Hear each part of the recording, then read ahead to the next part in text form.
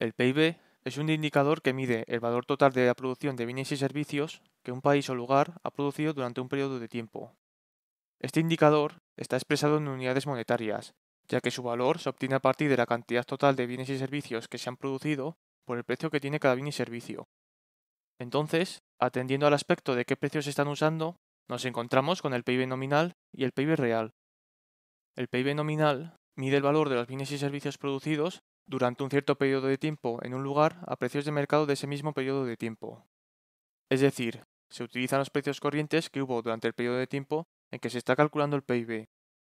Por ejemplo, si tenemos un país que solamente produce camisetas y suponemos que en el año 2020 el país produjo 200 camisetas a un precio de 18 dólares y en el año 2021 produjo 225 camisetas a un precio de 20 dólares, el PIB nominal del año 2020 sería de 3.600 dólares y el del 2021 sería de 4.500 dólares,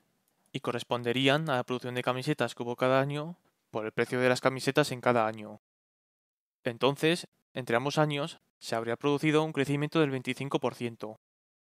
No obstante, hay que ver que el PIB nominal no refleja el crecimiento real de la producción, ya que parte de ese crecimiento del 25% se debe a que el precio de las camisetas incrementó.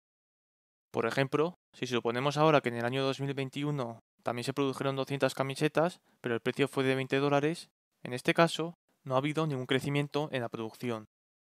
Sin embargo, si analizamos el PIB nominal, vemos que en el año 2020 seguiría siendo de 3.600 dólares, y en el año 2021 sería ahora de 4.000 dólares.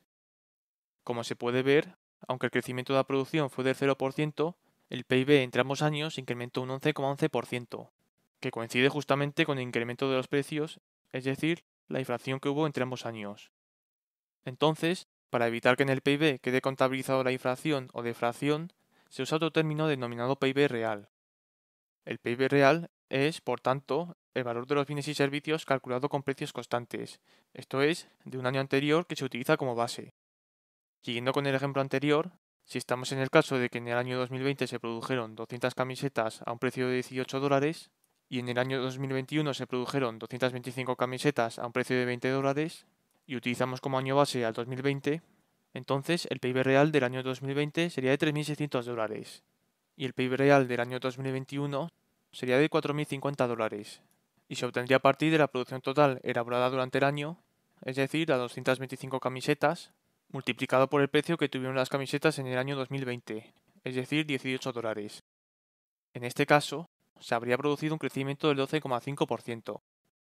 En el caso de que la producción en ambos años hubiera sido 200 camisetas y los precios hubieran sido diferentes, el PIB real hubiera sido para ambos años de 3.600 dólares, y en este caso no se habría producido crecimiento en el PIB real entre ambos años.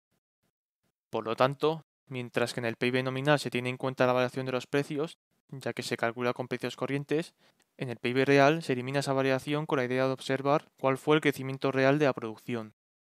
Con el PIB nominal podemos saber cuál es el valor de la producción a precios de mercado en un determinado año, y con el PIB real podemos ver cuál ha sido la variación real de la producción entre los distintos años en una economía.